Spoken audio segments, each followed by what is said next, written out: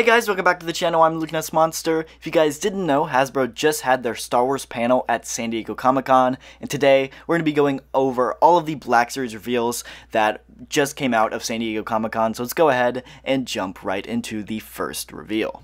Really quick though, we're actually giving away this Clone 2 back here on the channel at 15k subscribers, so if you do want to make sure you enter into that, you do have to be subbed to the channel, so go down hit the like button, subscribe, and once we actually do hit 15k, I'll make a giveaway video, and all you have to do is comment on that giveaway video to enter.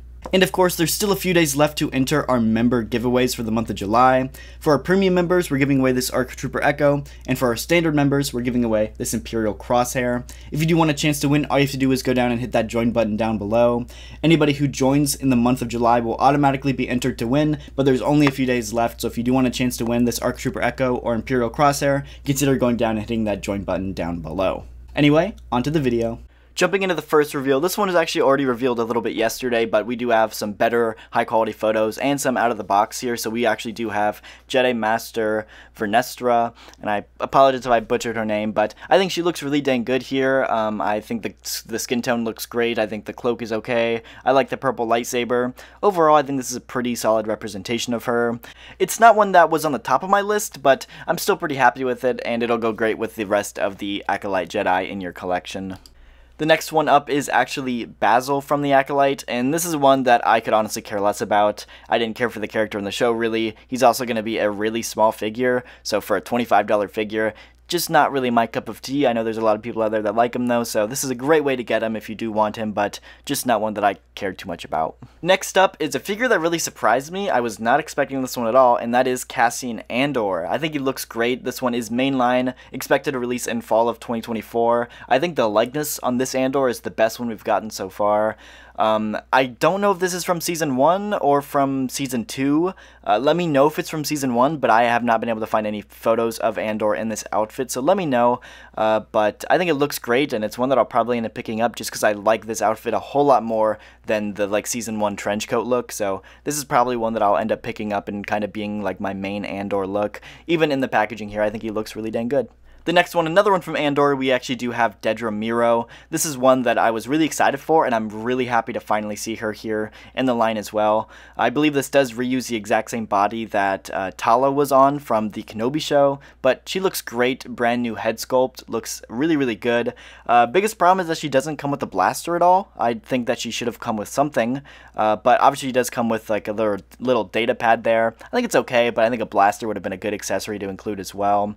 Uh, even the box does look great. Now, I will say, the uh, Andor was number 10, and this is number 12, so we are missing a number in there. I'm guessing number 11 will end up being that range trooper that was leaked, so we'll have to wait and see, but I think this figure does look great, and I'm pretty excited for it.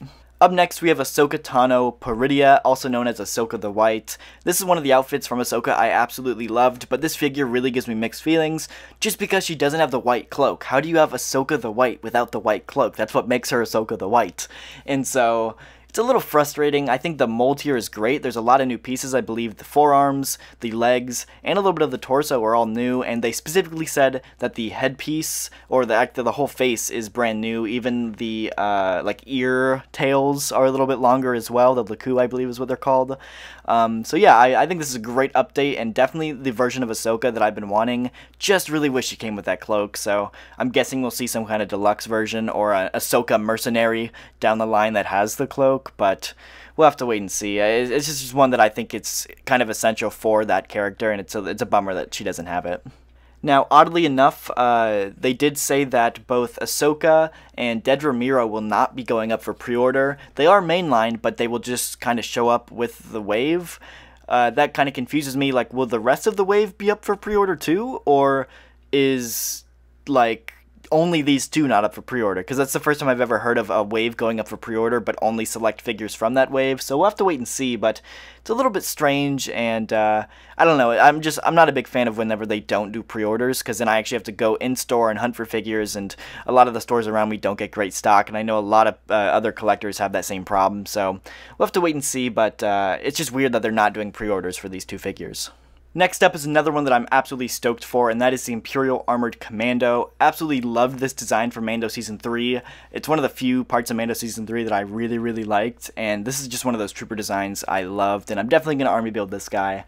Uh, he looks great. We obviously did see a leaked image of this a little while ago, but I think it looks so much better here uh, on display with the actual head on it. But it looks really good, and it just really surprised me, and I, I, I love how this one turned out.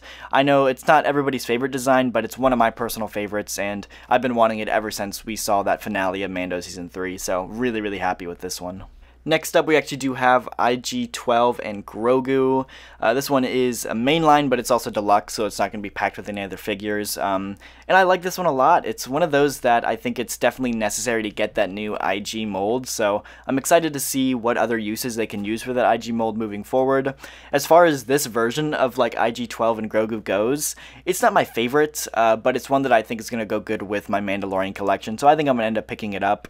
I just hope it's not too overpriced. I, I mean, it comes with IG-12, Grogu, and two of like the Babu Frick aliens, and so we'll see. Um, I'm worried that it's going to be over $30.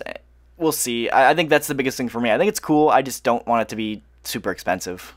And then we're also going to be talking about this quick uh, TVC reveal, just because I absolutely love it and I really want to see this in Black Series. We have Mando riding the Blurg. For starters, this is my all-time favorite outfit for Mando, because he has that Beskar shoulder pad. We see him for like three episodes with it, and it's one of those that I really want to see in the Black Series. And of course, the Blurg. The Blurg is awesome. It's an awesome creature, even comes with the saddle. It's something I would love to see in Black Series, and I really hope Hasbro decides to do it one day.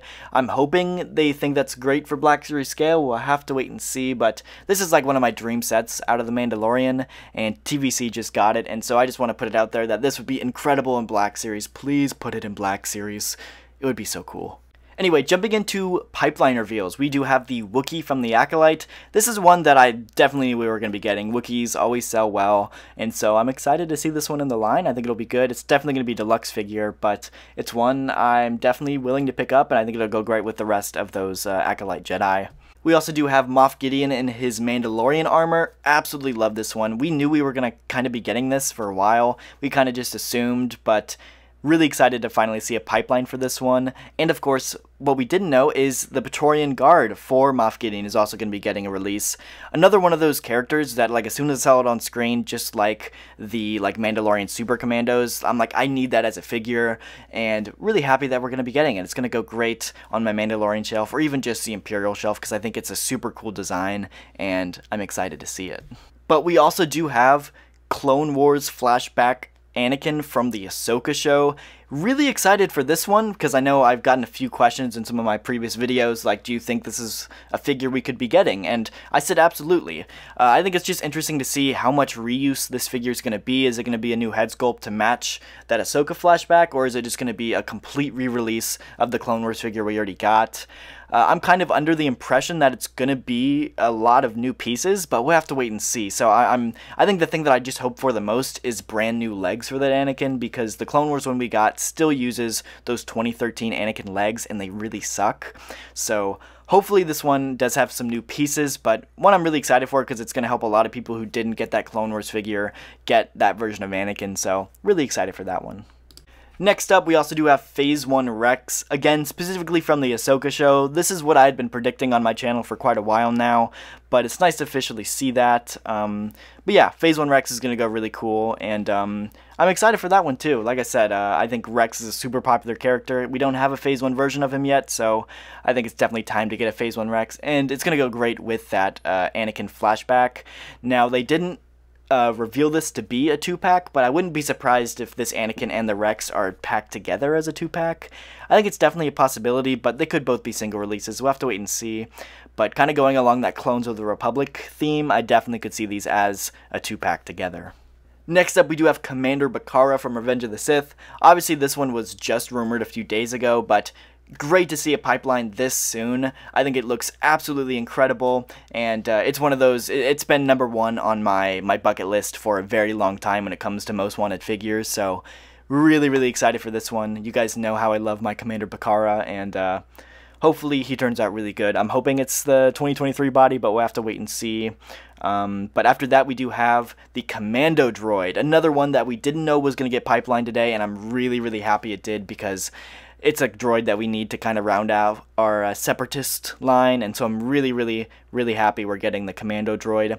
I kind of predicted this a long time ago because we saw the commando droid repaints in uh, Jedi Survivor, and we are also getting a commando droid, a part of the brand new uh, Outlaws game, and so I figured this way, if they do a Commando Droid, they can do the classic Clone Wars look, they could do the Outlaws look, and then of course they could do the Jedi Survivor repaint, so they're going to get three repaints out of this figure.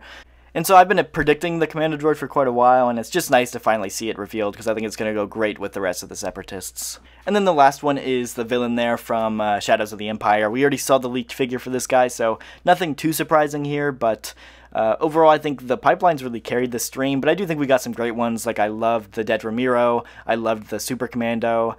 Um, I even liked the Ahsoka the White. Just wish it came with a cloak. But let me know down in the comments what you guys think of these reveals. I've definitely seen some mixed opinions between them all, so let me know down in the comments what you guys think, but that is going to do it for this episode. So if you did enjoy, hit the like button, subscribe, and I'll see you guys in the next video. Thank you so much for watching.